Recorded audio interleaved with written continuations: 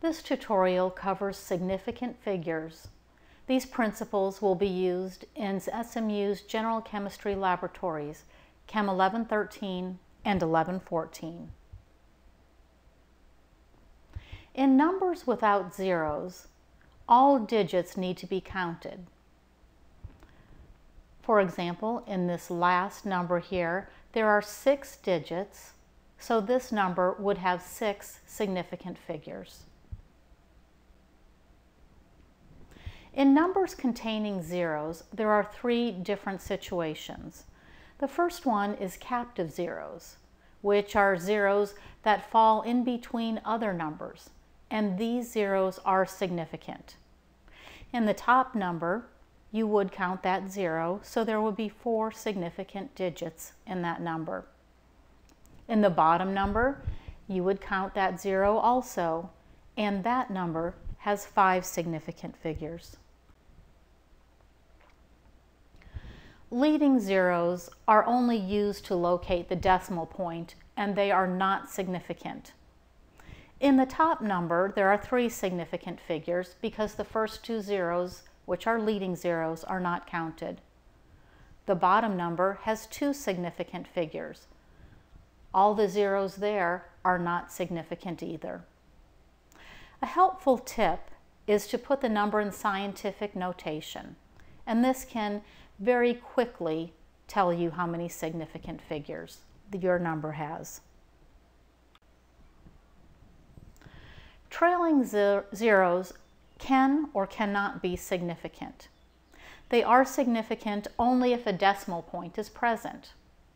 So in the first number, there is a decimal point present, so you would count these two zeros.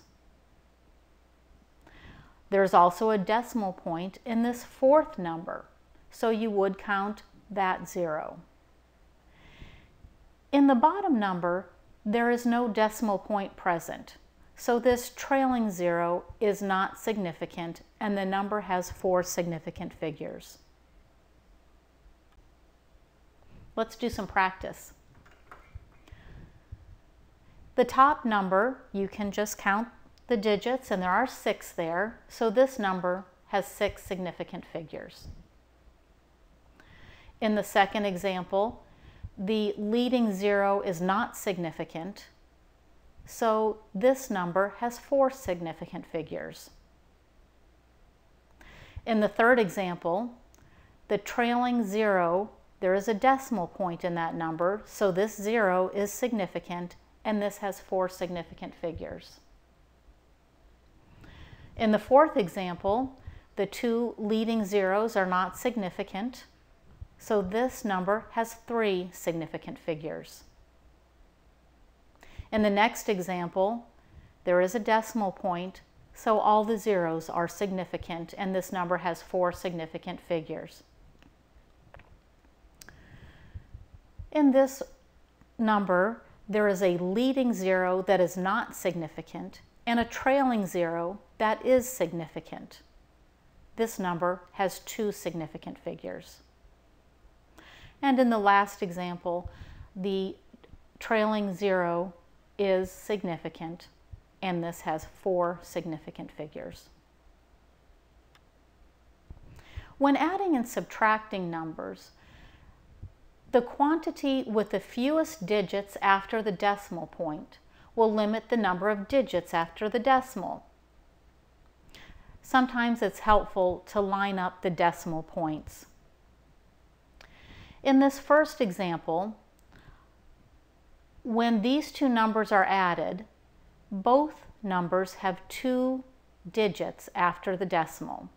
So when you add these, the number is limited to two digits after the decimal and this number will have three significant figures. In the middle example, the smallest uh, value after the decimal is 1, so the answer will be limited to 1 after the decimal. And then you can count the numbers 1, 2, 3, 4, and this number has four significant figures. Subtraction follows the same rules. The smallest number after the decimal would be 2 in the 6.12, so the answer will be limited to 2 after the decimal and whatever is before the decimal. So this one becomes 3 sig figs. In multiplying and dividing, the quantity with the fewest amount of significant figures limits the final answer to that amount of significant figures. For example, there are four significant figures in this first number and five in the second, and the final answer will be limited to four significant figures. In the second example, there are three significant figures here and 4 in the second number. When put in the calculator, it comes out to 1282 and I'm limited to three significant figures so it becomes 1280. Three significant figures, do not put a decimal point there. That would make it 4. And finally, in the last example, the number with the lowest amount of significant figures is 2, this 3.2 in the denominator, so my final answer is limited to two significant figures. More practice. In this first example, there are four digits after the decimal in the first number and three digits after the decimal in the second number.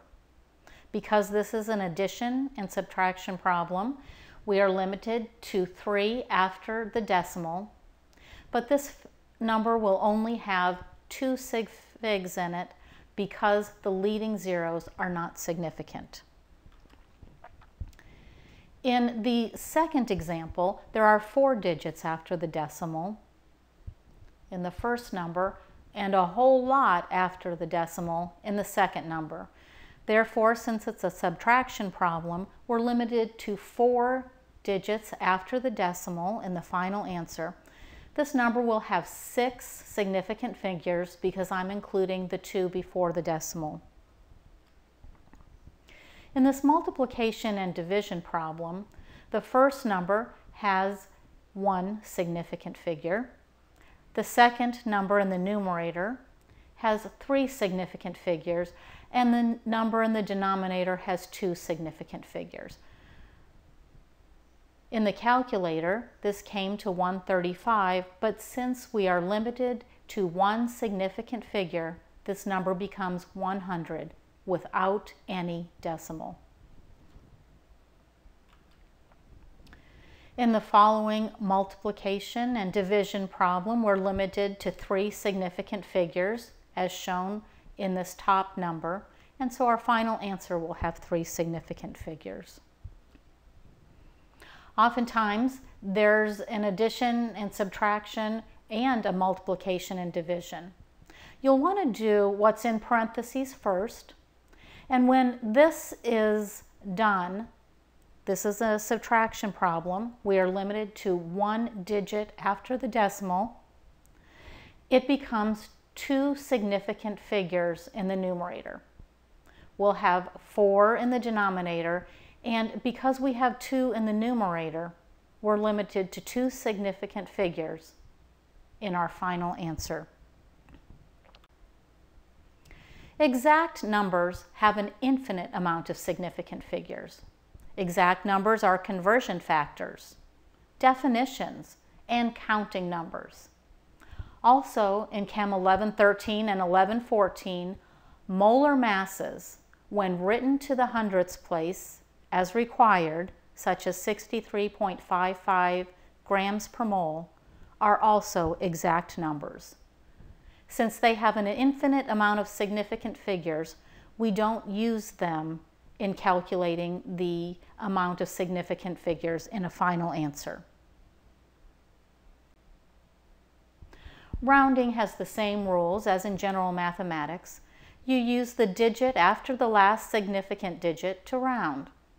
If it's less than 5, leave the number alone.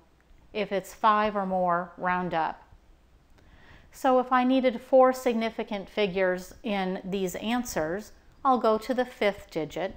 Since this is greater than 5, I'll round up.